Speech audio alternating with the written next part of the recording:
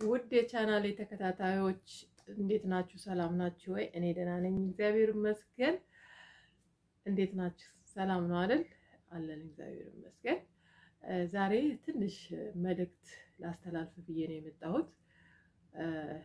ያው እንደሚታወቀው በአረብ ሀገር ነው ያለሁት እና ምን ልላችሁ ፈልጌ ነው ብዙ ጊዜ እኛ በአረብ ሀገር የምንኖር እህቶች ሴቶች በሰው ሀገር በሰው ቤት የምንኖር ሴቶች በማወቅም ባለማወቅም ብዙ ዓመታትን እንኖራለን። ግን ኖረን ያው ነገሮች ሳይስተካከሉልን ሁኔታዎች ሳይስተካከሉልን ያሰብነው ነገር ሳይሟላልን ሲቀር ብዙ ዓመታቶችን እናስቆጥራለን። ይሁንና ለመሄድ እያሰብን እንደው ይበቃኛል፣ ሄጄ አግብቼ ወልጄ ቤተሰብ መስርቼ መኖር እፈልጋለሁ ምናምን ብላችሁ ታስባላችሁ። በዛን ሰዓት ሀሳባችሁን ወደ ቤተሰብ ለማካፈል ስትደውሉ ሁሉም ባይሆኑ በከፊል ቤተሰቦቻችን ወደ ሀገር እንድንሄድ አይፈልጉም። ወደ ሀገር እንድንሄድ አይፈልጉም። ለምንድን ነው እንግዲህ እነሱ ያውቁታል ሰበባቸውን ምን እንደሆነ አናውቅም። ብትቆይ ነው የሚሻለው፣ አገሩ ጥሩ አይደለም። በተለይ አሁን ባለው ሁኔታ በዚህ በሁለት ዓመት ወደዚህ ከሁለት ዓመት ዓመታት ወደዚህ እንደዚህ ነው እንትናቸው ምክንያታቸው ኑሮ ተወደዋል፣ ጥሩ እየተኖረ አይደለም እና ብትቆይ ነው የሚሻለው። ሴት ልጅ ደግሞ የሴት ልጅ እድሜ ቁጭ ብሎ አይጠብቅም። እውነቴን ነው፣ ቁጭ ብሎ አይጠብቅም። የሴት እድሜ የተወሰነች ናት። ለመዳርም ሁሉ ለሁሉም ጊዜ አለው። ልጅ ለመውለድም እድሜያችን ግድብ ነው፣ የተገደበ ነው እና አብዛኞቻቸው ቤተሰቦቻችን ጓደኛም ጎረቤትም ስታማክሩ አረ እንደው ልክች ብለሽ እዚህ ሀገር እግርሽ እንዳይረግጥ እዛው ብትቀሪ ነው የሚሻለው የሚሉት ነገር እኔ በጣም ግርም ይለኛል። ዝም ብዬ ሳስበው በጣም ግርም ነው የሚለኝ እና እኔ እንጃ ብቻ ለምን እንደሆነ አላቅም። ከብዙም ጓደኞቼ ከእኔ ላይም ብዙ ጓደኞቼ ላይም የደረሰ ነገር ነው እና አወራለሁ ከጓደኞቼ ጋርም አወራለሁ እና ኢትዮጵያ ስደውል ጓደኞቼ ጋር ሊሆን ይችላል ወይ ጎረቤት ወይ ቅርብ ዘመድ ቤተሰብ ጋር ሊሆን ይችላል። ብቻ የምሰማው ነገር በጣም የሚያስጠላ በተለይ ለሴት ልጅ እንዴት እዛው እዛው ብትሆን ይሻላል። አይታሰብም፣ እድሜው አይታሰብም። ዘር ማውጣት አለባት፣ ዘራውን መተካት አለባት፣ ቤተሰብ መመስረት አለባት የሚባል ነገር ጭራሽ በሀሳባቸው አይመጣም። ጭራሽ ምንድን ነው የሚፈልጉት?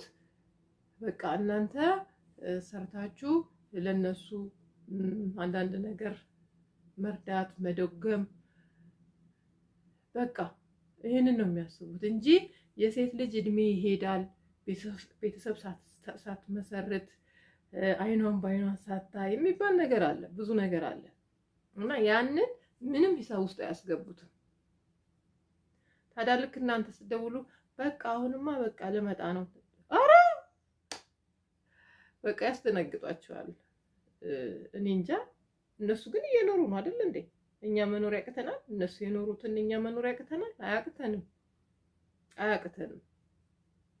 እና እንደዛ ሲሉ በጣም ነው የምገረመው። እኔ በጣም ነው የምገረመው። እና ሴቶች እህቶቼ የምንላችሁ ነው በቃ በራሳችን መወሰን አለብን። እኛ ትልልቆች ነን አይደል? ራሳችን ችለን የወር ደመወዝተኛ ሆነን የራሳችንን ኑሮ እያስተካከልን እየኖርን ነው። ስለዚህ መሄድ ስንፈልግ መሄድ ስንፈልግ ምንም ቤተሰብ ማማከር አይጠበቅብንም። ምንም ቤተሰብ ማማከር አይጠበቅብንም።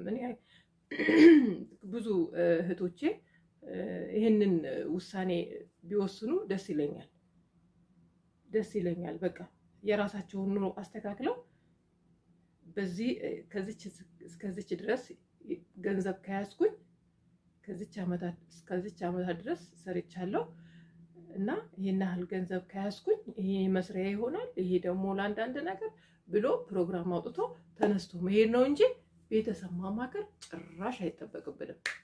ጭራሽ ለምን እኛ ሴቶች እድሜያችን ይሄዳል፣ የታወቀ ነው።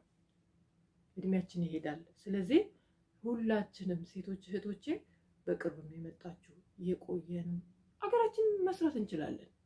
እውነቴን ነው። አገራችን መስራት እንችላለን። እግዚአብሔር ይመስገን። ስለዚህ እግዚአብሔር አሁንም ፈጣሪ አምላክ አገራችንን አሁን ጥሩ እየሆነች ነው። አገራችንን ፈጣሪ አምላክ ያረጋጋልን።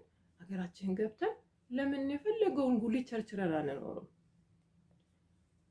ከቤተሰብ መስርተን ከቤተሰብ ጋር እስከ መቼ የሰው ሀገር፣ እስከ መቼ የሰው ቤት፣ እስከ መቼ የሰው ቤት አጎንብሰን የበታችነት እንዲህ በሀገራችን ከተሰራ አሁን እውነት ስራ ካልናቅን ሀገራችን መለወጥ እንችላለን።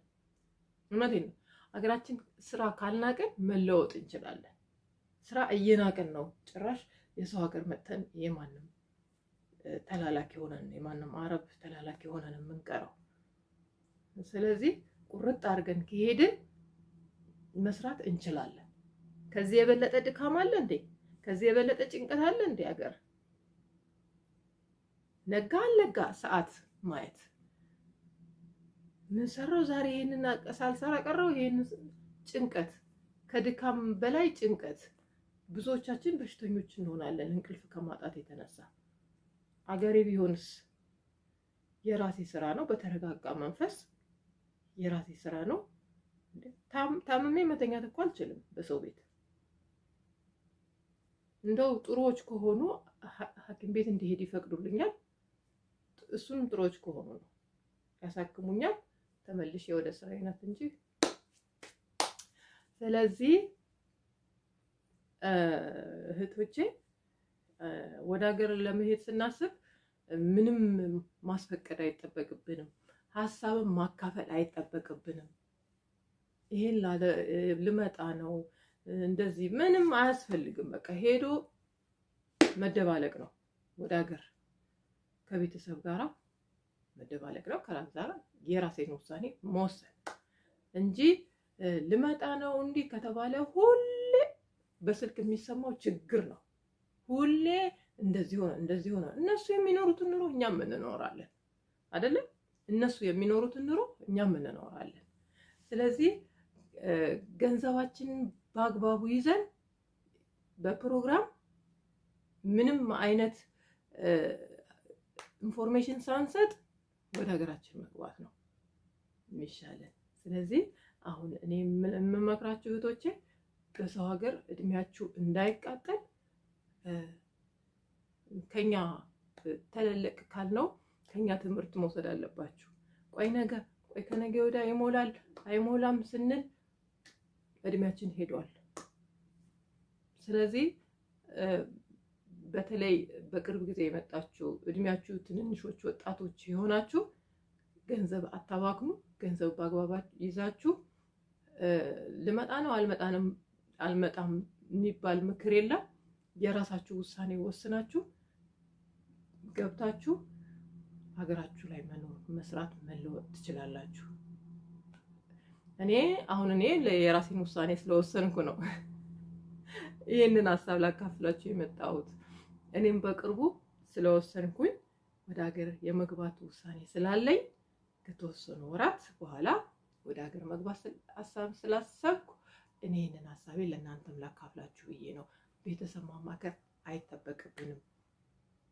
ስለዚህ ሄደን የራሳችንን ኑሮ መኖር እንችላለን። ስራ ካላቅን ደግሞ ሀገራችንንም ደስ በሚል አየር አየራችን እግዚአብሔር የባረከልን ሀገራችን አየራችን ቆንጆ አየር አለን። እንደዚህ እንደ አረብ ሀገር የታፈነ አየር አይደለም ያለን፣ ቆንጆ አየር ነው ያለን፣ ጤናማ አየር ነው ያለን። ስለዚህ እድሜያችንም እንዲረዝም ጥሩ ጤናማም እንድንሆን የሀገራችንን አየር እየተመገብን ስራ ካልናቅን እንኖራለን፣ በሀገራችንም እንኖራለን። ስለዚህ እህቶቼ ይህን ልላችሁ ነው የመጣሁት። ለመሄድ ስታስቡ ስትዘጋጁ ምንም ቤተሰብ ማማከር አይጠበቅባችሁ። ቤተሰብ ስትደውሉ ኑሮ ተወዷል፣ አገሩ አገሯ ምስቅልቅሏ ወጥቷል፣ የሆነውን ልሁን እኔ ከእነሱ ጋር የሆንኩትን እሆናለሁ እንጂ በሰው ሀገር አልቀርም፣ በሰው ሀገር አልቀርም። እነሱም እየኖሩ እኔም የራሴ ኑሮ እኖራለሁ። ስለዚህ ምንም ሀሳብ ማካፈል አይጠበቅብንም። ወደ ሀገር ለመሄድ ስንል ተነስተን ጓዛችን ጠቅልለን ብራችን ቋጠር አድርገን ወደ ሀገራችን ስራ ካልናቅን ደግሞ እንሰራለን፣ እንለወጣለን። ስለዚህ እህቶቼ ዛሬ ይህንን ላካፍላችሁ ነው የመጣሁት። በሌላ ቪዲዮ እስከማገኛችሁ እንግዲህ መልካሙን ሁሉ እመኝላችኋለሁ። ቻናሌን subscribe በማድረግ አጋሬ ተከታይ ሁኑ። መልእክቴን ከወደዳችሁት like፣ share፣ comment አድርጉልኝ። አመሰግናለሁ። መልካም ቆይታ